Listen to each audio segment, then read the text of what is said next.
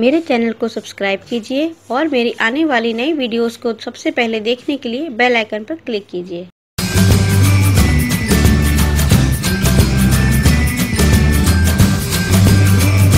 Hello friends, मेरे channel घर का स्वाद में आप सभी लोगों का एक बार फिर से स्वागत है। आज हम बहुत ही टेस्टी और पाँच मिनट में बनने वाला नाश्ता बनाएँगे। आज हम बनाएँगे आलू के लच्छा पैनकेक और फटाफट से बनने वाली रेसिपी है। आप इसे हेल्दी रेसिपी भी कह सकते हैं। बहुत ही कम सामान का इसमें यूज़ होता है और बहुत ही ज़्यादा टेस्टी बनकर तैयार होते हैं। तो इसे बनाने के लिए हमें चाहिए दो मीडियम साइज़ के कच्चे आलू मीडियम साइज़ की एक गाजर, छोटा सा टुकड़ा अदरक का, दो चम्मच दही, आधा कप गेहूँ का आटा, आधा चम्मच लाल मिर्च का पाउडर एक चौथाई चम्मच गरम मसाला, थोड़ा सा बारीक कटा हुआ हरा धनिया और नमक स्वाद के अनुसार।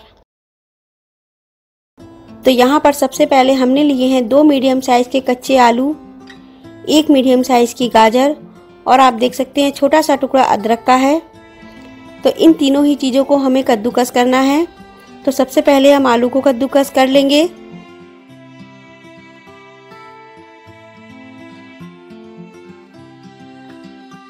साथ में ही अदरक को भी कसेंगे। और ये जो गाजर है, इसे भी हम कद्दूकस कर लेंगे। तो यहाँ पर आप देख सकते हैं, सभी चीज़ों को हमने कद्दूकस कर लिया है, यानी कस लिया है। तो अच्छे से हाथों से एक साथ सभी चीज़ों को मिला देंगे। और अब हम इसमें ऐड करेंगे बारीक कटा हुआ हरा धनिया। स्वाद के अनुसार नमक, थोड़ा सा लाल मिर्च का पाउडर, थोड़ा सा गरम मसाला। तो बस इतने ही मसाले इसमें हम ऐड करेंगे। बहुत ज़्यादा मसालों का हम यूज़ नहीं करेंगे। हाँ पर आप चाहें तो थोड़ा सा कुटी हुई काली मिर्च का पाउडर इसमें ऐड कर सकते हैं। और दो चम्मच के लगभग इसमें हम यूज़ करेंगे दही, जिससे कि इसमें टेस्ट अच्छा आएगा। पर यदि आपके पास दही नहीं है तो आधे नींबू के रस का यूज़ कर लें। तो अब हम सारी चीज़ों को एक साथ अच्छे से मिलाएँगे। तो जब सारी चीज़ें अच्छे से मिक्स हो जाए, तभी हम इसमें डालेंगे गेहूँ का आटा, जो कि इसमें बाइंडिंग का काम करेगा। थोड़ा थोड़ा करके डालेंगे।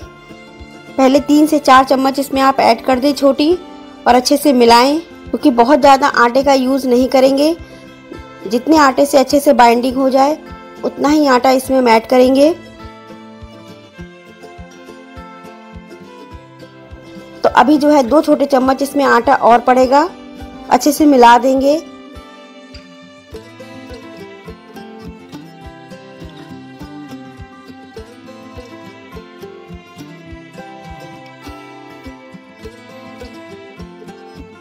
अब यहाँ पर आप देख सकते हैं किस तरीके से हमने पैनकेक का बैटर बनाकर तैयार किया है।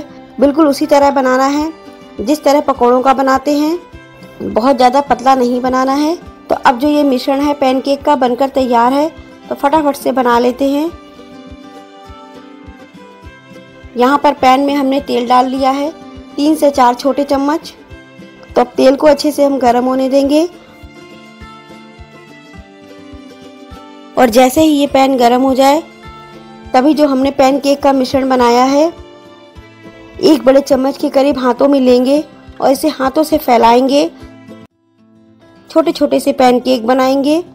आप चाहें तो चम्मच से लेकर भी फैला सकते हैं या फिर इस तरह हाथों से फैला लें।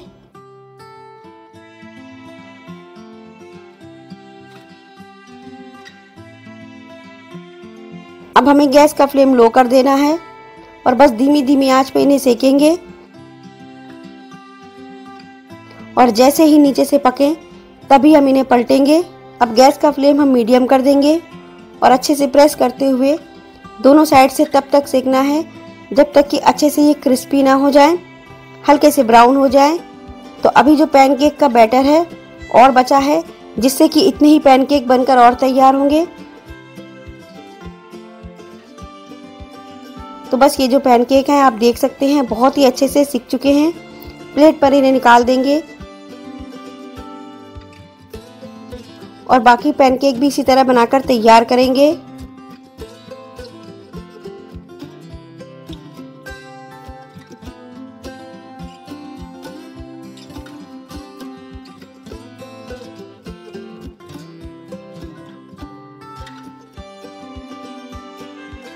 तो यहाँ पर आप देख सकते हैं, सभी पैनकेक हमने बनाकर तैयार कर लिए हैं और कलर भी आप देख सकते हैं, बहुत ही अच्छा आया है, बहुत ही ज़्यादा क्रिस्पी बने हैं।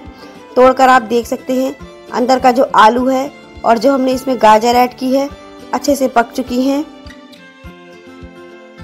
तो बस आप इसे अपने मनपसंद चटनी या सॉस के साथ सर्व करें और जब भी आपका कुछ फटाफट से खाने का मन करे, बनाकर आप इसे तैयार कर सकते हैं।